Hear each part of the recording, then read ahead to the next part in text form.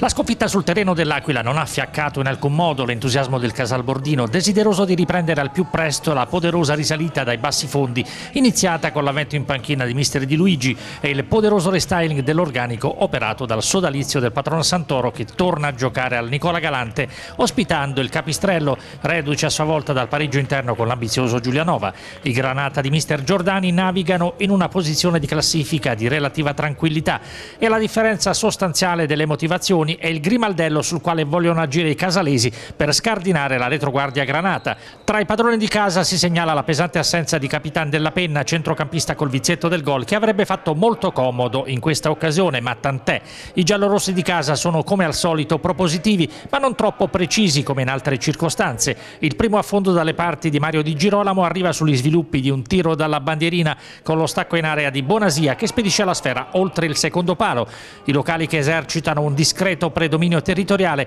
continuano ad avere difficoltà a sfondare davanti all'estremo Granata. In questo caso ci prova anche Mangiacasale che nella gara odierna scende anche con la fascia da capitano che si trova sulla traiettoria ma il suo intervento fa impennare la sfera che si spegne sul fondo e se i casalesi insistono ma senza finalizzare adeguatamente il capistrello mai pericoloso dalle parti di Tor riceve da quest'ultimo un regalo inaspettato e sicuramente non voluto è il ventottesimo infatti quando l'estremo giallo-rosso esce a valanga sulla corrente concorrente Daniele Di Girolamo è per il signor Orazietti, fischietto piemontese che arriva dalla sezione di Nichelino, non rimane altro che indicare il dischetto. La battuta è affidata a Franchi che non sbaglia, portando i suoi a condurre. Si tratta, come vedremo, dell'unico tiro granata nello specchio della porta, ma è un tiro che vale tanto. I padroni di casa cercano di reagire immediatamente, ma neanche la dea bendata è particolarmente benevola in questo frangente quando sulla conclusione in area di Di Pasquale c'è la fortuita deviazione di Fantozzi Fantozzi che indirizza sulla traversa. Il primo atto si chiude con la clamorosa opportunità fallita da Salghero che si invola verso la porta ospite ma a tu per tu con l'estremo rivale calcia su quest'ultimo tra il vibrante disappunto della tifoseria locale. Il numero 9 casalese prova a riscattarsi in apertura di ripresa quando interviene sullo spiovente da fermo di Regner ma la sua zampata che dà inizialmente l'illusione ottica del gol manda invece il pallone a spegnersi a fondo campo. Stessa sorte poco dopo per la battuta di Grandi Grandis dal vertice d'area. I giallorossi di casa che protestano spesso lamentandosi del gioco rude della squadra ospite placano gli animi al nono quando arriva il pesante provvedimento disciplinare del direttore di gara che estrae il rosso per somma di ammonizioni all'indirizzo del capistrellano Fantozzi. Per lui ritorno anticipato sotto la doccia e Casalbordino rinvigorito per l'inattesa superiorità numerica che non va a coincidere con quella di risultato ancora favorevole agli ospiti che al diciannovesimo si salvano con la tempestiva chiusura di Rozzi Rozzi su Bonasia. Pochi istanti dopo Mario Di Girolamo compie una prodezza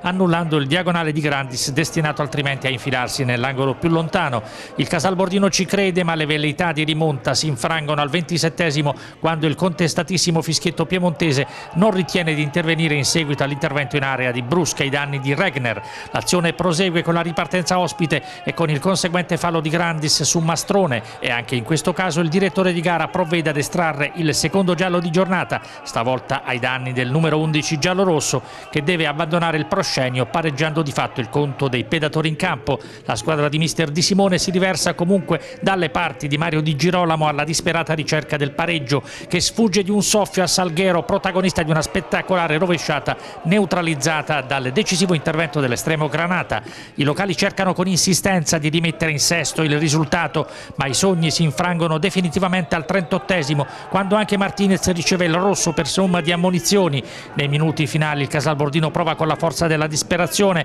ma senza apprezzabili risultati e prima del triplice fischio andiamo a registrare il secondo tiro del Capistrello dalle parti di Tor ma la conclusione del neoentrato Visconti non inquadra il bersaglio grosso anche se alla fine per i Granata può bastare anche così visto che ottengono il massimo dei risultati con il minimo sforzo.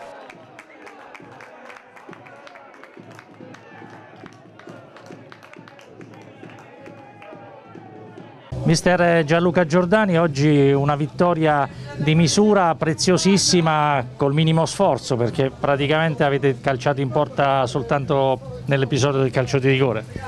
Sì, effettivamente devo dire che quest'anno è la prima partita che mi capita di vincere in questo modo, nel senso che la squadra avversaria sicuramente meritava qualcosa di più di noi, e, però il calcio è questo, ci sono state altre occasioni dove meritavamo noi, noi non avevamo subito niente, però avevamo perso la partita. Oggi invece fortunatamente eh, i ragazzi sono stati bravi, la fortuna è stata con noi.